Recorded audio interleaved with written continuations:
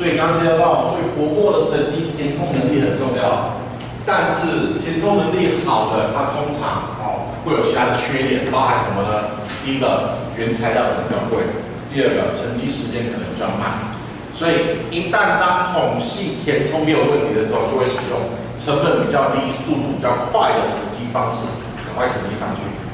然后呢，再给它平坦化，回用线滴给它回蚀，哦，给它模拟，哦就可以了。而 CVD 在沉积的过程中，不论是 LPCVD 或是 PCVD，薄膜的沉积不会只会在晶圆表面。而是整个腔体都会，因为它是气体嘛，气体会到处跑嘛，所以只要能够附着到的地方，它都会发生化学反应形成薄膜。所以，比如说 LPCVD 是炉管，那炉管的整个石英管的管壁也都会有薄膜的沉积，而 PCV 是个方形的腔体，那这个腔体的四周也全部都会有薄膜的沉积，而薄膜的沉积只要沉积的太厚，就会产生薄膜的脱落。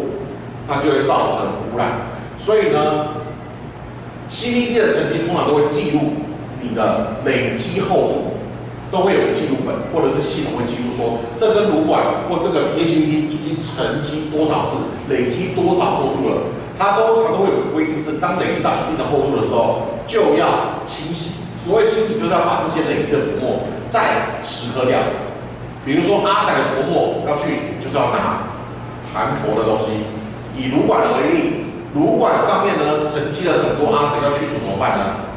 就要去泡 BOE，哦含含氟的 HF 的液体，去把阿散给蚀刻掉，哦还原管一个干净。那如果是电浆的腔体呢，就需要打 CF4 plasma，哦之前介绍过 CF4 plasma 的氟自由基可以蚀刻二氧化锡，甚至蚀刻氮化锡，哦所以。薄膜呢，基本上也需要清洁，腔体也需要清洁。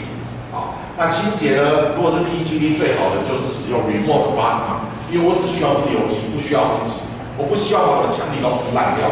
哦，我需要只需要自由基，哦，所以只需要用氟的自由基就够了。那如果你用 Remove Plasma 是最好的，啊，通常就使用氟。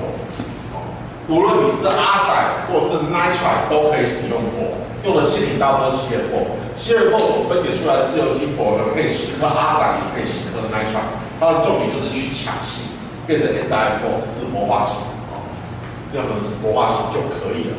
所以枪体沉积久了就要清枪，哦，这就是我一般所讲的清枪，把枪体清理干净叫清枪，清洗的清，枪体的枪叫清枪。哦那通常就会使用 c f 的 plasma 去做清枪的动作，把枪体清干净。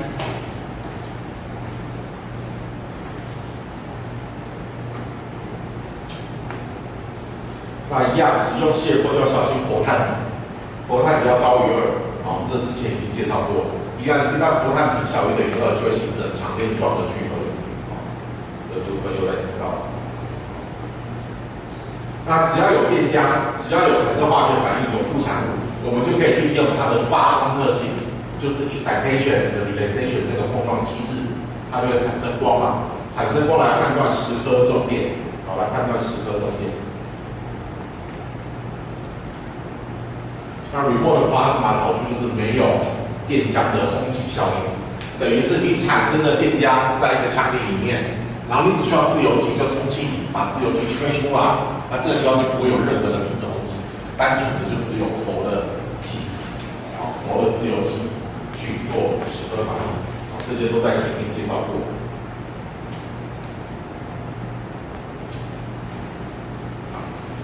那现在的制程的发展趋势，首先提高温度以增加蚀刻速率，这是之前的，现在不会太会想要走这一步。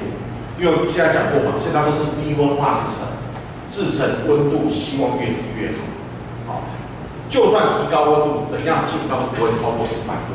因为前面已经介绍过嘛，后段制成最好压在四百五十度以下，最好可以在四百度以内。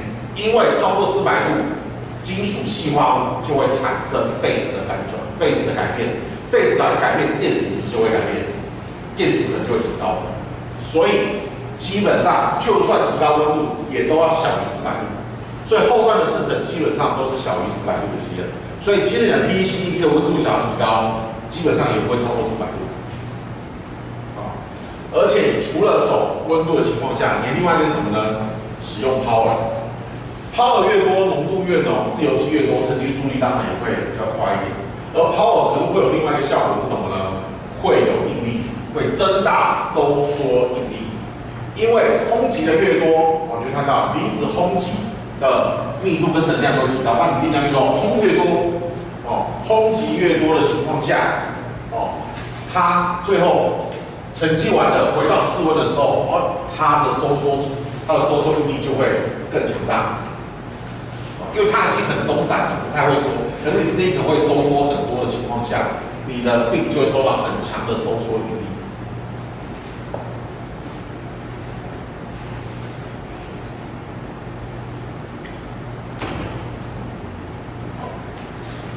好，然后呢超，是什么呢？power 加强，R power 越高的情况下，除了离子浓度越高，空气越多。之外，空气还可以干嘛？前面讲过，我们需要有好的阶梯覆盖率，就需要有好的表面迁移率。而表面迁移率是借由什么呢？吸附这个动作，哦，吸附机是物理吸附、化学吸附，吸附力越强，它表面迁移率就越弱，那它的阶梯覆盖率就越不好。那只要才可以提高它的阶梯覆盖率呢？要么就是找到好的原材料，要么就是借由离子轰击，把它的化学吸附键打断，让它可以再移动。利用轰击让它再移动，所以 power 越大可以降低反应物的吸附，换言之就可以增强它的迁移率，所以使得阶梯覆盖率会比较好，阶梯覆盖率会比较好。所以 ion power 一开始在提高的时候呢，是自由基的数量增加，反应速度变快。再高下去的时候呢，哎就不太动了。但是有个好处是什么呢？你的阶梯覆盖会越来越好，阶梯覆盖就会变得比较好。所以 power 会影响到是 power 低的时候会影响到速率，power 高的时候呢，你的浓度够了，反应速沉积速度也够了，那下一个就是可以提高你的经济覆盖能力，并且怎样呢？会控制会改变你的薄膜应力，power 越高，你的收缩应力会越大，收缩力会越大。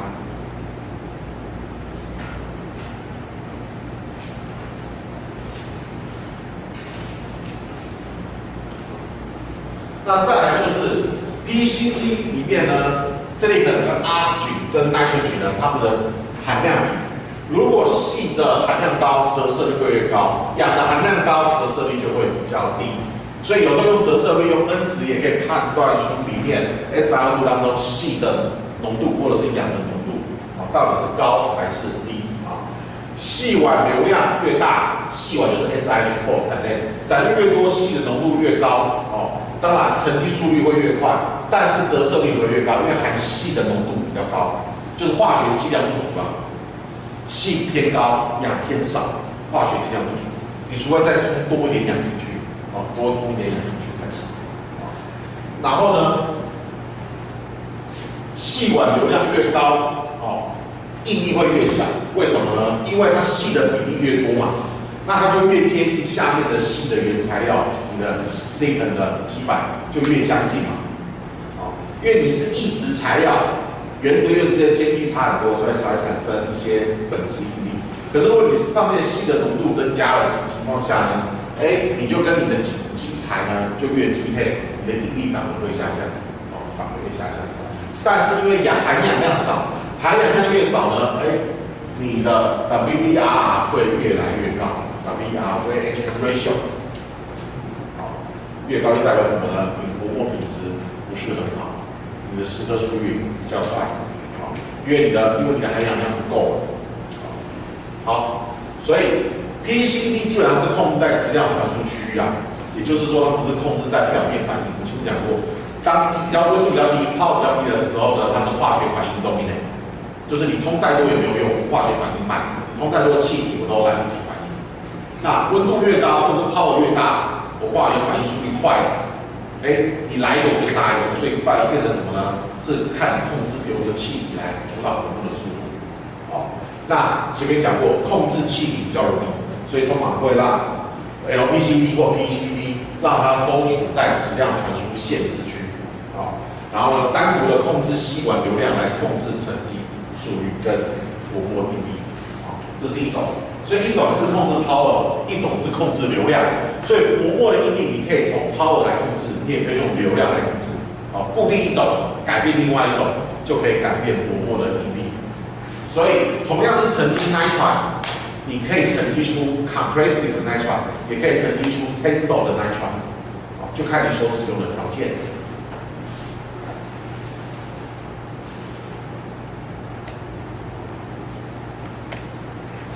TIOS，TIOS 基本上没有什么好说的，因为 TIOS 就很稳，因为 TIOS 的细跟氧都来自于同一个原材料，它就是四乙氧基细烷嘛，哦，所以它自己本身就提供细跟氧，它它只要通 TIOS 的氢就可以，它不需要其他氢。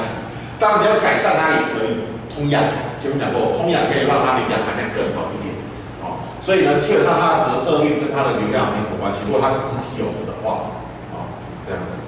那流量越高的话，当然速度越快，因为浓度越浓嘛。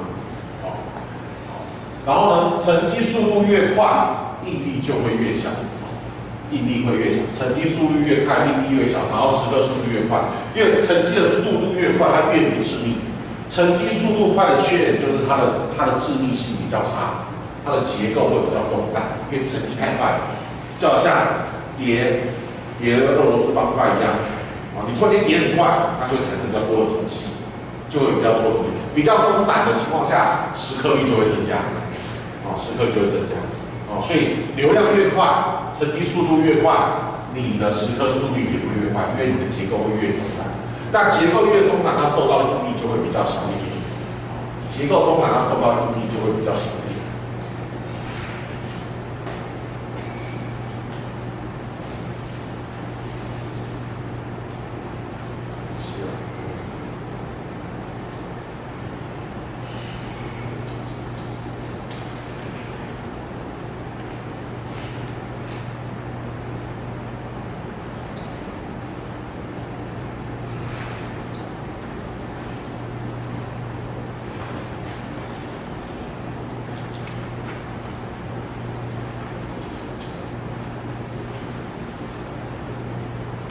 好，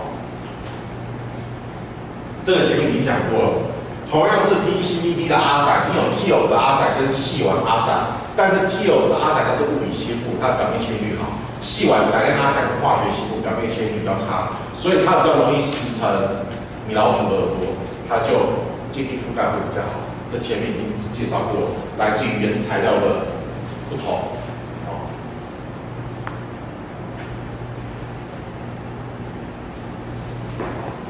然后呢，温度提高会降低沉积速率，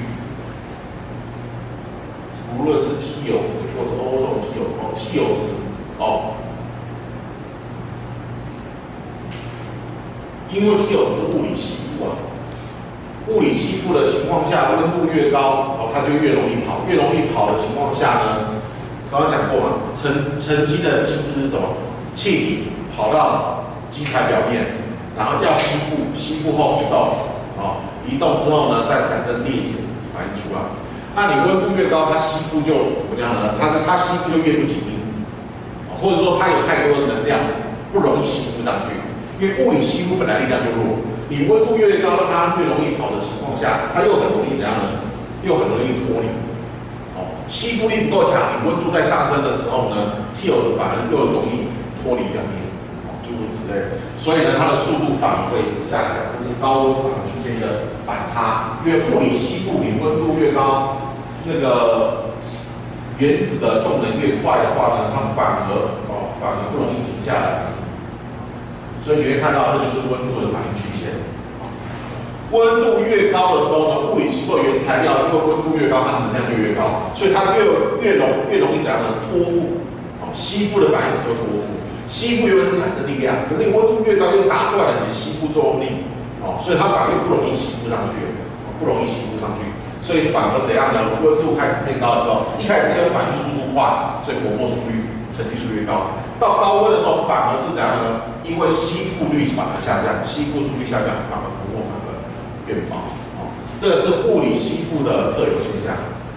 化学吸附是因为它本来就很会兴奋强，就算你热的给它高，让它可以跑动，但也不至于让它可以到断键的程度，除非温度要很高才行。所以温度升高是不利于物理吸附的，好，所以低温的情况下用物理吸附是最好的。那你如果是化学吸附的话呢，你温度高点反而是它反能够增加它的表面牵引力，好，所以温度下降对于物理吸附的材料跟化学吸附的材料会表现出两样不同的结果啊，两样情况。那欧重既有是薄膜。这个多孔性，知道海口。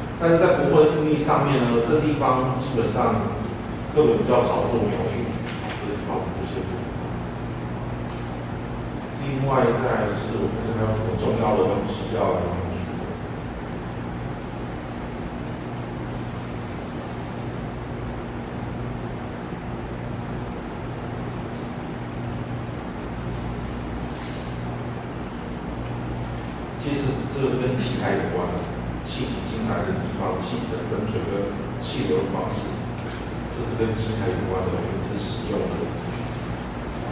看一下还有什么重点。极氧化层的厚度，基本上单机 MOSFET 绝对都是用热氧化，不会是用薄膜沉积的。反倒是我今天讲过的显示器的面板，显示器面板上面所用到的电。左用到什么时位，它的电压材就没有办法用热氧化，就只好使用 CVD，而且是 PECVD 的型。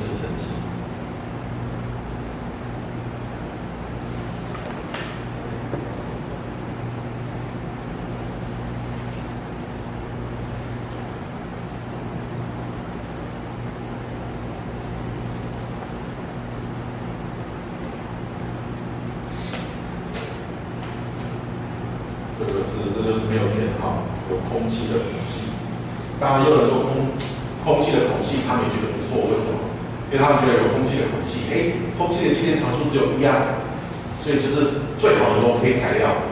所以有人认为空气在半导体元件里面呢存在在整机电路架构里面，他认为有个好处是空气的接电场是低，阿仔还三点九，所以马上可以大幅的下降。可是前提是你要控制好这个空气，这个空气不要有任何的酸碱气或者是金属导线过去，否则就会有缺点。这个控制要好一点。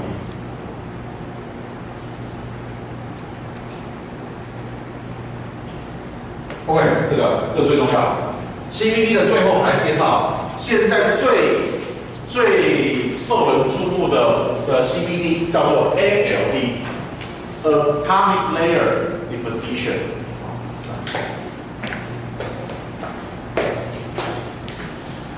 ALD 是目前阶梯覆盖率最好的一种沉级方式，但是它的缺点就是慢。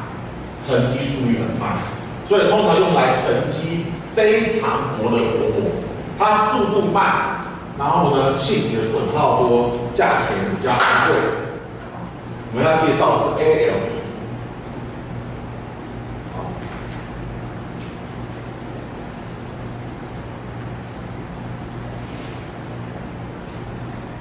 position，而 time l a position，基本上它属于 CVD 的一种。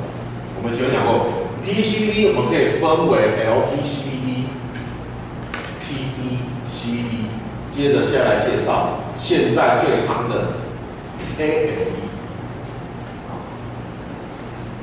ALD 每一次叠，它是一次一次一次的叠，一层一层一层的叠，每一层就是一个原子层而已。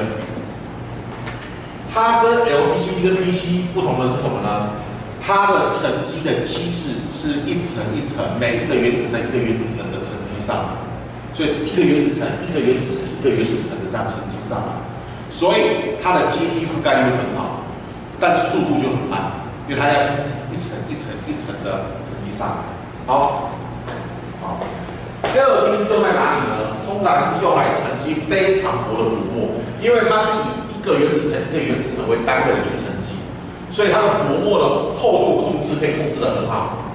它薄膜的厚度，它的沉积速率慢，所以它薄膜的厚度可以控制的很好。好，而 LPCVD 的整个的制成呢，后面有图案，可以来看一下。它是长这样。今天我最后的目的，哦，是要沉积一个呃。沉积氯磺化合物。假设我现在要沉积个氯磺化合物的话，啊，看一下，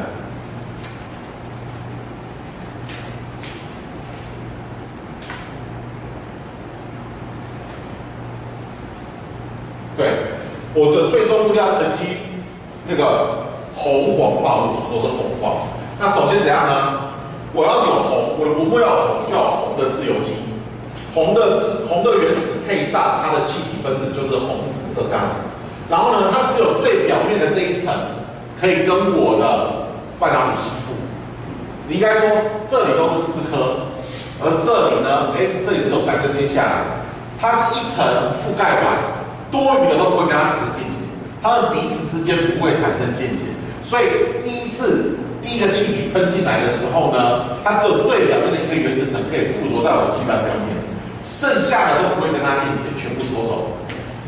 接着呢，哦，所以变成第一个气体冲进来，你就等它时间，让它持续的慢慢扩散，扩散到整个表面都覆盖第一层之后，剩下这个呢进行第二步，吹走，push 掉，把剩剩余的气体给 push 掉。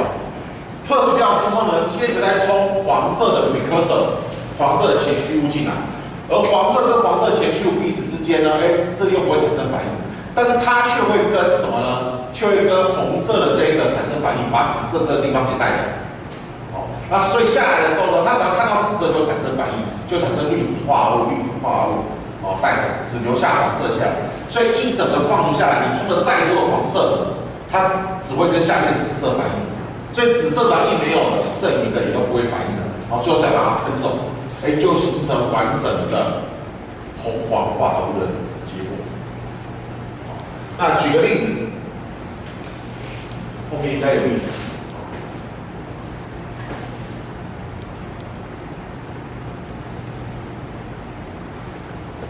好，举个例子，ALD 呢？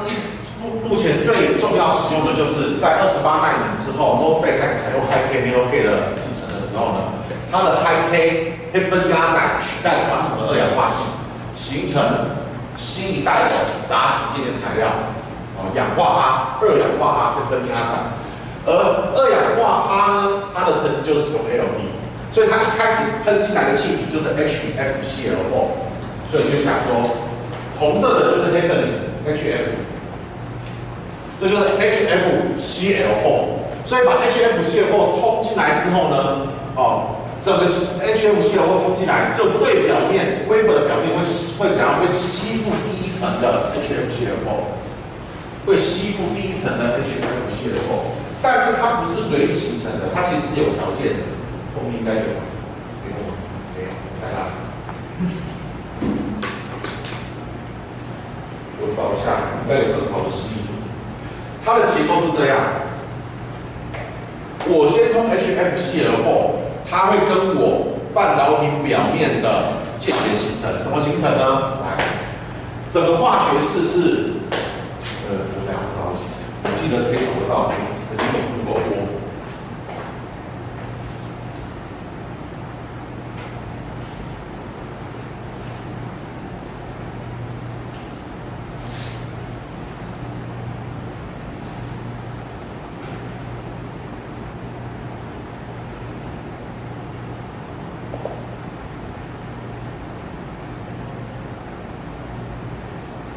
录过。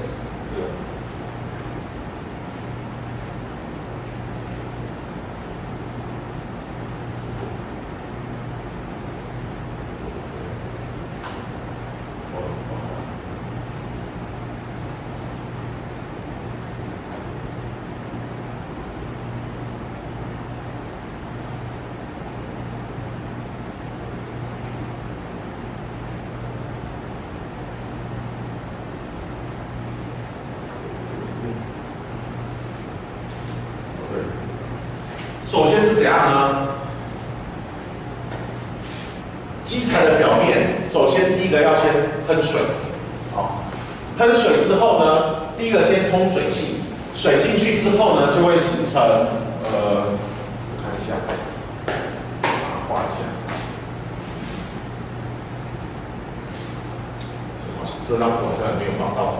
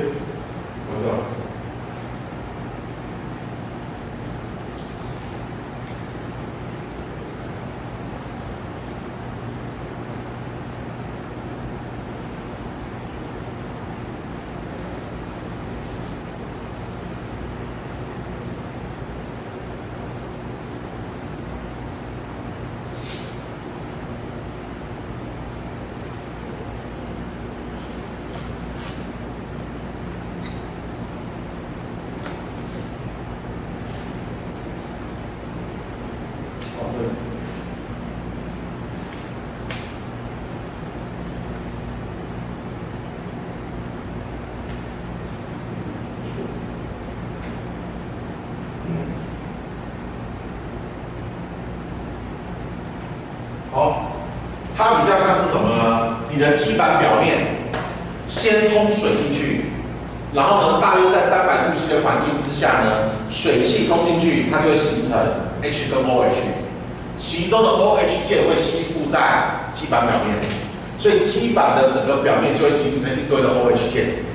啊，所以这是第一个，我喷第一步的气，先喷 H2O 进去，然后在三百度 C 的环境下，它变成许多的。氢根、氢氧根，而 OH 键就会形成在铅表面。接着来了，喷完水之后呢，第二步是什么呢？喷氮气，把多余的 OH 移走。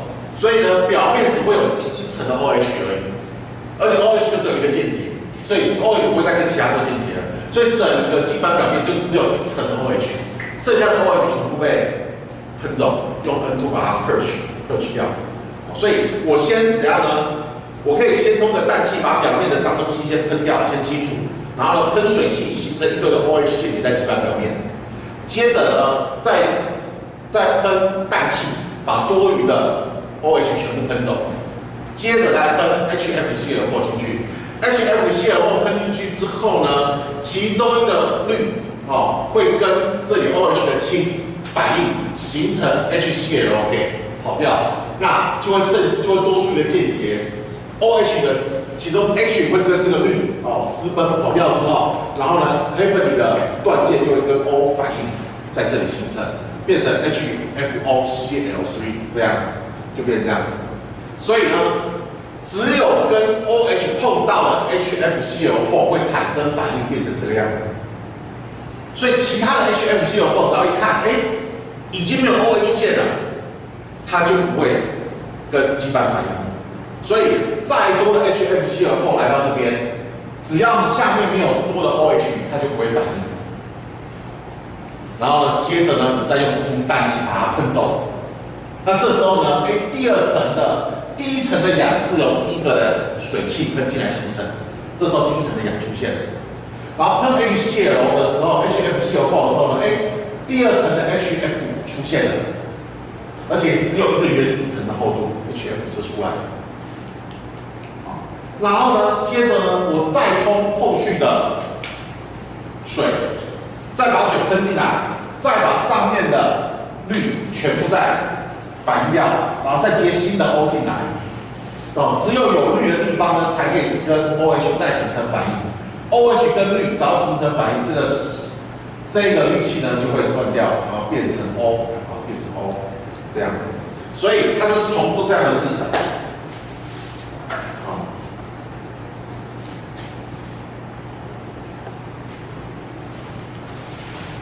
所以重复这样的制成啊，第一个 N2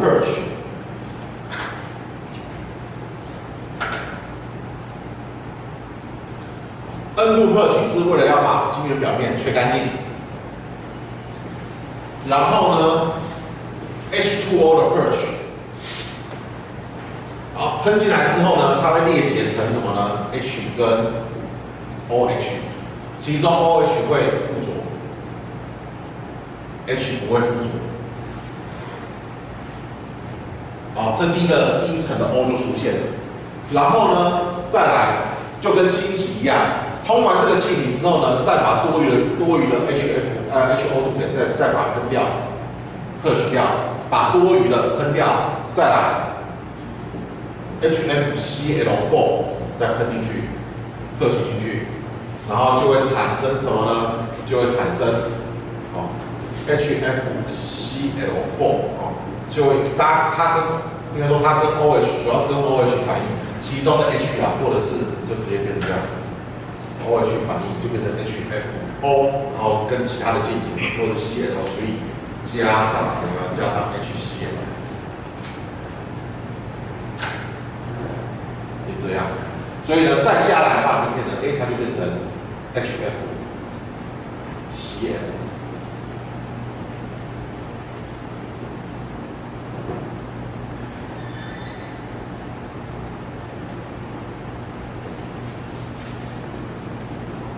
然后呢，再继续，啊，再 N 度再克取掉，然后呢，再来才继续什么呢？再用水，再喷水，所以你会看到它这样子四个步骤完成一轮，每四个步骤完成一轮 HFO，在下一轮呢，就会有新的下一轮的 OHF 出来，就会有下一轮的 HFO。然后再克去一轮，就会有下一层的 HFO 出来。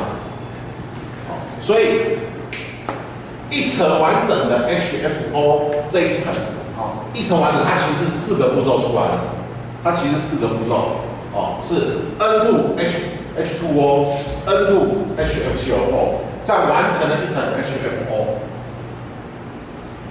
一个 cycle 叫做一个 cycle。LED 的制成呢是分 cycle。是用 cycle，是看你要做几个 cycle，每一个三氟喷上去就是布满一个原子层，然后再喷一个三氟多余的气体拿掉，再喷第二个三氟进来，再喷下一个三氟进来反应，反应完一整个原子层，再喷一个 N2 把多余的拿掉，就这样一层一层的。OHF，OHF，OHF，OHF 这样子形成，就形成一个连续的 HFO 路，是这样。的，所以。LED 就靠这样子达到原子的累积，一层一层一层的上去，就像这个样子。HFCl4 上去，下面的 OH 其中一个 H 跟其中一个 Cl 反应掉了，它就留下一个 O 去跟它反应，所以第一层的全部留着。接着呢，氮气把二取多余的退去掉，接着再通 H2O 进来。好，再通 H2O，哦，H2O 进来，其中的 H 再跟 Cl 反应掉，好，上面的 Cl 都跟 H 反应掉之后呢，留下 O 下，留下 O 下，好，所以呢，一二三四步骤之后，哦，它这里是从喷 HF 泄漏，然后喷氮气，喷 H2O，再喷氮气，完成一个 cycle，一样四步一个 cycle。好，这是一样，黑分压是四步个 cycle，最后形成一层的黑分压上，接着再做第二个塞孔就会再形成第二层的黑分压上，再做第三个塞孔会形成第三层的黑分压上。好，这样一下。那这个叫做原子层沉积，啊，原子层的沉积。那原子层的层级 L 的优点是，它可以形成大面积又均匀的薄膜。什么时候不均匀？如果你喷进去的气体，气体太少，它不够铺满整个晶圆表面就不行。好，可以多，不可以少，因为你多了，它也会多多累积在上面了。好，就好像你涂上去，哎，多的剩下的就全部都吹走而已。所以通的气体量要够，只要通的气体量要够，整片晶圆表面都会有很均匀的薄膜。好，但是 L E 的缺点就是什么呢？基本上它的气体利用率很低，因为你通一堆的气体，它只要一一层薄薄的气体层在表面而已，剩下的气体全部浪费掉。所以基本上它的气体利用率低。第二个是什么呢？它的沉积速率慢，因为你等是喷第一个气体，要等它全部覆盖整个整个表面之后，才能再通第二个气体把它吹走，再从第三个次的气体第三步骤进来，然后在第四步骤把它吹掉，然后每一个都要等它一段时间，因为气体跑进去之后要扩散，你要等它扩散嘛，或者把它吹干净吹走，哦这样子，所以呢它的速度慢，它很花时间，沉积速率又慢，好，所以它的出库。它的产，它的速率产能比较少。那它的关键是什么呢？关键是它的厚度可以控制的很好，非常适合用来当做杂极氧化层哦，MOSFET 的杂极氧化层。一般的现在杂极氧化层基本上不到两千欧米克，一般现在的杂极氧化层啊不到两千欧米克，不到二十 H 所以呢几个原子层而已，大概只有四到五个原子层啊。非常薄，非常薄。在这么薄的情况下呢，热氧化很难控制，啊，CVD 也很难控制，但是 ALD 可以控制的。所以 ALD 是现在拿来当做 MOSFET 的杂极绝缘层的呃沉积基塔，啊，速度虽然慢，但是很关键，因为它太关键了，所以不得不用它，不得不用它。所以 LED 可以形成高 High K 极电子材料，啊，因为在二十八纳米的时候呢，杂极电容密度已经上升不上去了，好，因为 MOSFET 的杂极电容传统是用二氧化系，在 BLS 三维双化的过程中呢，杂极电容值会越来越大，因为 GaN 材会越来越薄，GaN 材越来越薄会有个缺点是什么呢？漏电流会开始提升。因为当你的薄膜进入到哦小于一两个纳米以下的时候呢，量子穿隧效应太强。哦，IBM 很早就提出这个说法，说阿仔杂极绝缘层呢太薄的情况下，漏电流会上升太多。这时候怎么办呢？我厚度不想要让它降低，因为漏电会上升。可是我又想要再提高电容值，怎么办呢？根据电容的公式，电容是什么呢？绝缘层厚度分之绝缘层的静电长数。你厚度一薄，漏电流会太大。那你厚度不能薄的情况下怎么办呢？只好想办法提高绝缘层的静电材料、静电长数。那这时候就造成怎样的？阿塞掺些氮，哎，延续一点寿命。nitrogen 掺进去之后呢，K 值会提高，但是还是不够，怎么办呢？终于，Intel 在四十五纳米，台湾台积电电在二十八纳米，就改用了改材料，杂极绝缘层就直接改成。黑分阿塞相关的材料，以氧化铵为基底的 High K 材料进来，啊，就使用了黑分阿塞，就使用了黑分离阿塞为本体的绝缘层，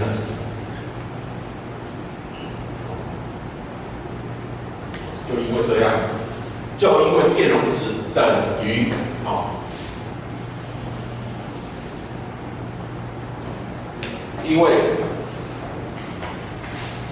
整个杂极电容密度等于 T R 载分之 X 总 R 载，但是 T R 载下降的情况下，漏电流、杂极漏电流会上升，所以没有办法，知道怎么走，只好想办法提高 x 马上。所以只要 x 的值大于三点九的，就叫做 high k；小于三点九就叫 low k。